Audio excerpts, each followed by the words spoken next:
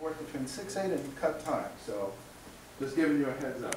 Okay, this is gonna have a repeat, there's gonna be a slight pause at the end, so let me make the repeat, you can follow my wonky conducting, and it'll be good. Okay, here we go. One, one, one, one, one, the four beats. One, two, one, and two.